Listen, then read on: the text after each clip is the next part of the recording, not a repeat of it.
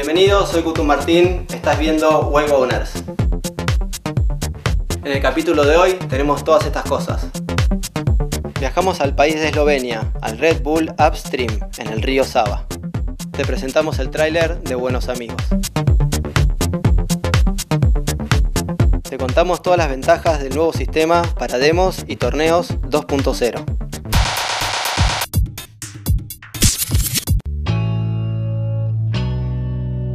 Red Bull Upstream, wakeboard en los rápidos. Aguas rápidas blancas, obstáculos naturales de piedra y otros objetos que se parecían a un skatepark definían un escenario muy parecido a un parque de diversiones en el país de Eslovenia, en donde los riders luchaban por ser el rey del río Sava.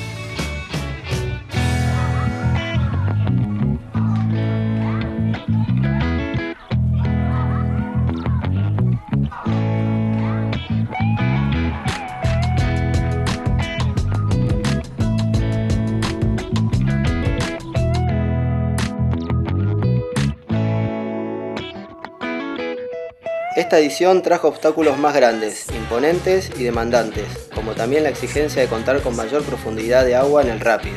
Los atletas de elite convocados para participar de esta movida única contribuyeron a aportar una atmósfera de alta tensión, nervios y suspenso, ya que el circuito era nuevo para todos, jamás antes probado por el ser humano.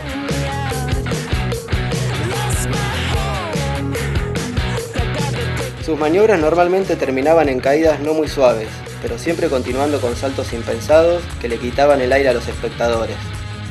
Durante los entrenamientos del viernes y sábado, los atletas empujaban sus propios límites hacia lo incalculable, al límite de exponer sus cuerpos a golpes que podrían apartarlos no solo de lograr alcanzar el podio, sino de toda la temporada venidera.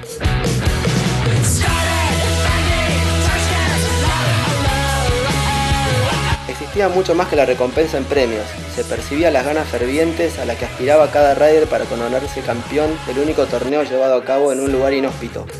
Esta era la gran oportunidad. Los atletas se deslizaban a lo largo de los rápidos a una velocidad de 30 km por hora, remolcados por un winch diseñado especialmente para llevar a un wakeboarder a lo largo de un máximo de 200 metros de distancia. Durante las clasificaciones, cada rider tuvo dos pasadas para convencer a los tres miembros del jurado de sus habilidades y de por qué habrían de elegirlos para sortear el filtro de las semifinales y obtener un puesto en las finales. Los siete mejores pasaban a las finales y tenían tres pasadas cada uno de 200 metros de distancia, de las cuales se les otorgaba la opción de descartar la peor de ellas y quedarse con las dos mejores. Estos fueron los resultados finales.